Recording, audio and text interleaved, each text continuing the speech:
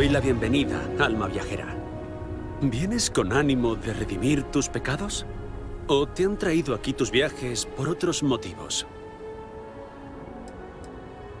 Ah, no, en absoluto. Soy un simple anciano que busca consuelo en tiempos aciagos. Ah, alma exploradora, además de viajera. Me figuro que aún no has recorrido la senda de la redención. No has de avergonzarte. El camino depende de cada persona y cada cual elige cuándo comenzarlo. Será un placer explicarte la tradición, si gustas. En mi juventud habría contestado que sí, y más veces de las que me atrevo a admitir. Ahora, sin embargo, Tan solo vengo a meditar y pensar en apacible soledad. Este lugar me hace sentirme más próximo a la gran serpiente, lo cual me aporta mucha calma. Ah, gracias, visitante. Tu amabilidad es una bendición para mí. Hablar de la senda me llena de dicha. En esta tierra hay repartidas cuatro ermitas.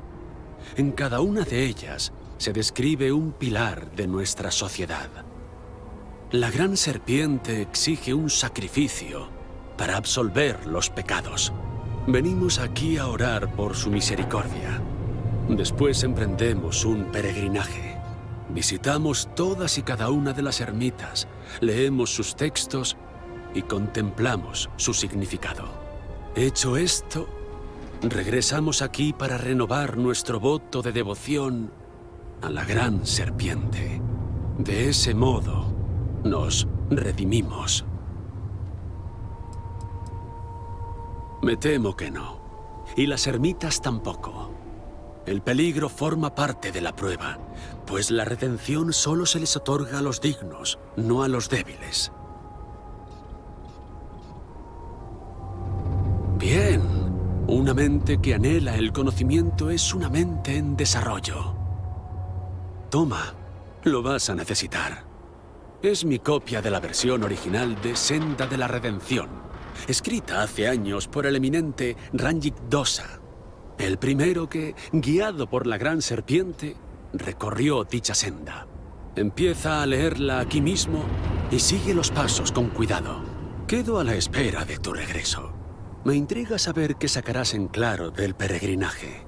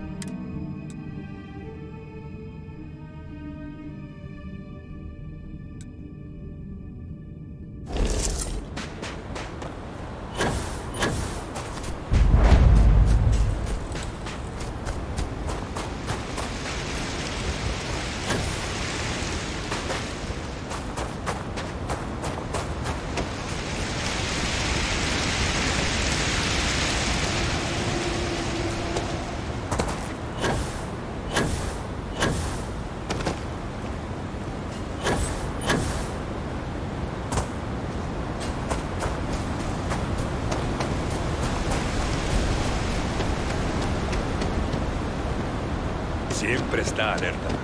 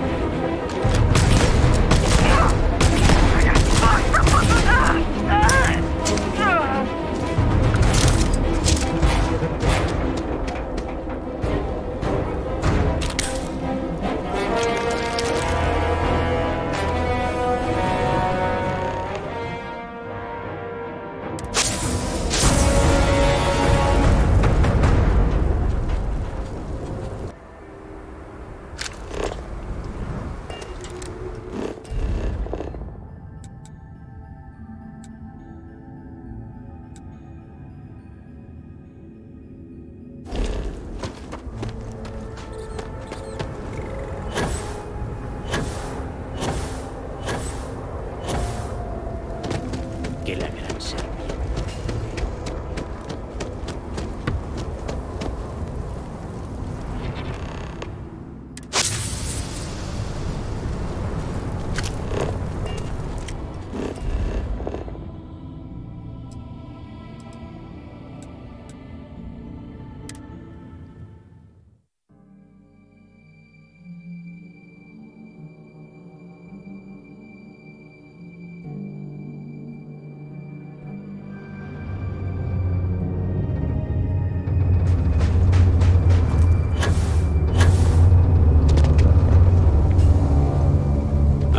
de tu viaje aguarda la sabiduría. Hola de nuevo, alma viajera. Dime, ¿cómo ha ido la travesía?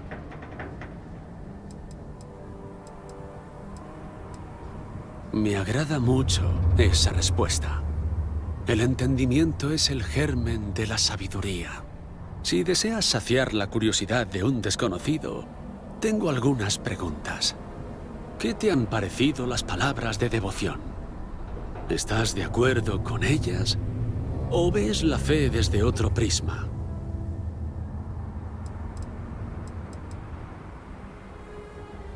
Sabias palabras. La devoción no entiende de medias tintas. En mis ya numerosos años he aprendido que un pueblo unido por la fe es capaz de grandes cosas. Si la intuición no engaña a este anciano, percibo en ti una fuerte independencia. Ya me barrunto tu respuesta, pero preguntaré igualmente. ¿Qué opinión te merecen las palabras de obediencia?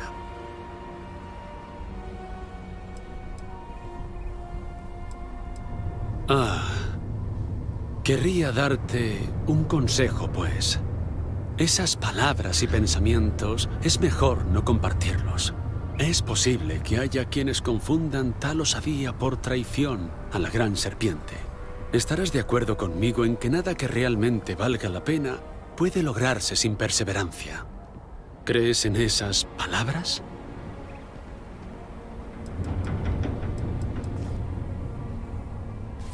Pues opino como tú. Se me viene mi abuelo a la cabeza. Era pintor.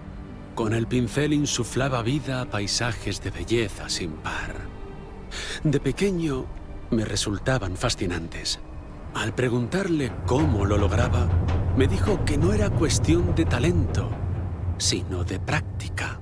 Al parecer no nació con ningún don artístico, pero compensó esa carencia a base de insistencia, lo cual nos lleva a la fuerza y a palabras propias de una forma de pensar más antigua. Con estas palabras se identifican en especial jóvenes y aventureros. ¿Quién no desea ser fuerte? No obstante, muchos vemos eso como un amargo recordatorio de una época más violenta. Como resultado, hay muchos que cuestionan el valor de las palabras de fuerza en comparación con el resto. A fin de cuentas, ¿no es la fuerza la que más mermará conforme pase el tiempo?